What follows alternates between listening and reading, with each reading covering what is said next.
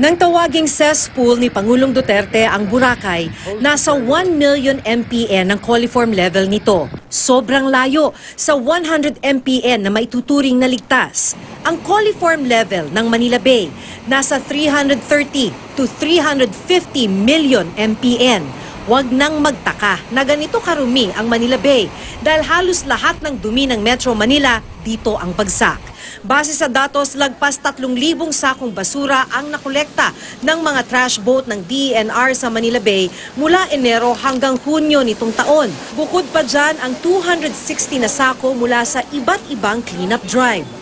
Sabi ng DENR, tulad ng ginawa sa Boracay, kasama na ngayon ang Manila Bay sa mga i-rehab nila. Sisimulan daw ito sa Enero. Pag-resume ng uh, office sa January, eto kagad yung uumpisa namin.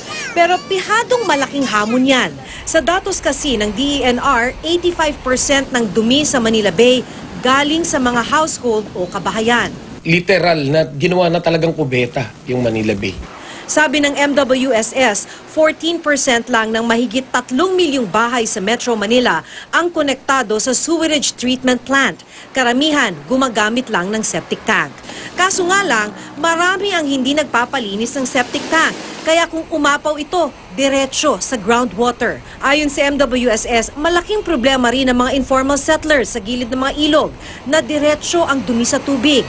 Ang mga water concessionaires na Maynilad at Manila Water daw ang dapat magkukonekta ng mga kabahayan sa sewerage treatment plant. admittedly, delete na po ang dalawang concessionaires. Nahirapan din sila mag-acquire ng mga properties for to build the sewage treatment plant because madaming mga municipality, mga cities natin at local government na hindi pumapayag na magkakaroon ng STP sa that area.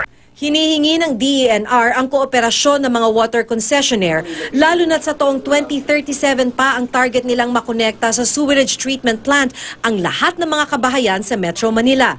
Hiningan namin ng pahayag ang Maynilad kaugnay nito pero sabi nila MWSS na lang daw ang tanungin. Wala pang pahayag ang Manila Water. Maki Pulido nakatutok, 24 oras.